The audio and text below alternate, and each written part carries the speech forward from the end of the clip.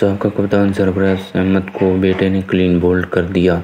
कौमी टीम के सबका कप्तान सरफराज अहमद को उनके नन्हे बेटे अब्दुल्ला ने क्लीन बोल्ड कर दिया। सरफराज अहमद को उनके बेटे अब्दुल्ला ने यॉर्कर पर क्लीन बोल्ड किया, जिसकी वीडियो सोशल मीडिया पर वायरल हो गई, जिसकी धूम मची हुई है।